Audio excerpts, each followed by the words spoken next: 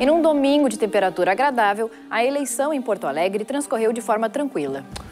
Nem os tradicionais santinhos espalhados pelo chão foram vistos nos locais de votação. No Rio Grande do Sul, quatro cidades voltaram às urnas neste domingo. Em Porto Alegre, o dia de sol e a temperatura amena tiraram muita gente cedo de casa. Nos locais de votação, a expectativa do eleitor em relação ao futuro da cidade. Manter o que está bom, né? E procurar melhorar aquilo que está precisando ser melhorado, né? A saúde, a educação, transporte, né? Entre outras coisas. Quase não houve fila nas sessões eleitorais e o voto era digitado rapidamente.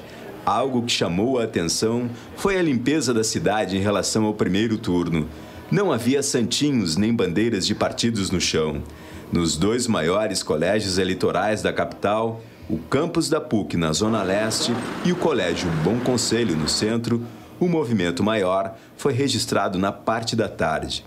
Pessoas de diferentes gerações passaram por aqui para votar.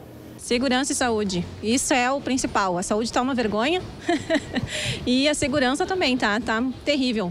Eu sei que eu não tenho mais obrigação de votar, mas eu quero. Eu acho que o meu voto é capaz de trazer alguma melhora, não sozinho, mas junto com aqueles que tiveram coragem de votar.